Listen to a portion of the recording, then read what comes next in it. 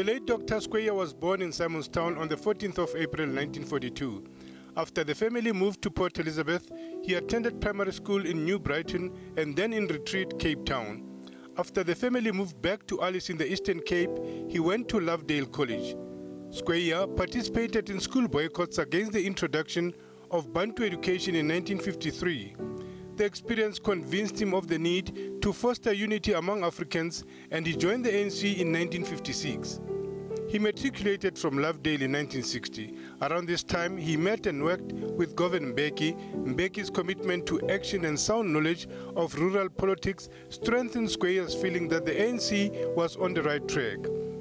At Fort Hare, he was an active member. When Mandela went abroad to seek military training facilities for the ANC, Skweyiya was one of those who mobilized support among the people for Umkhonto Wesizwe. As MK, we have no choice. We can't leave the ANC. By 1963, he was in danger of being arrested. Traveling to Tanzania, he worked for the ANC until he moved to Lusaka office in 1965. The liberation of African countries from colonialism in the 1960s kindled and sustained his belief that one day South Africa would be free. Skweyiya returned from exile in June 1960 and was shocked at the deprivation and homelessness of Africans. Since his return from exile in 1990, he has directed the Department of Legal and Constitutional Affairs. Skweyiya was first elected to Parliament in 1994 and he joined the cabinet as Minister of Public Service and Administration in the same year.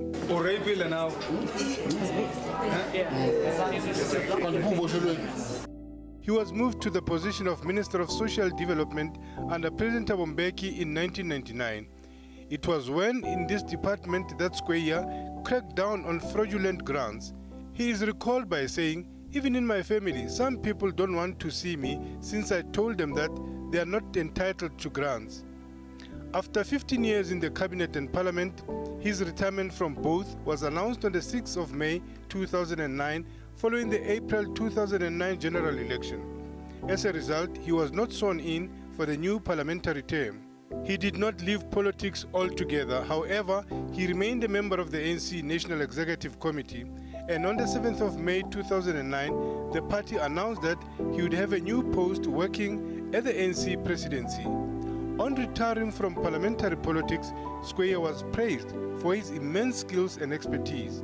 In August the same year, after retiring from parliamentary politics, Skweyiya joined the diplomatic community, also becoming South Africa's High Commissioner to the United Kingdom. Lehana Tsotetsi, SABC News.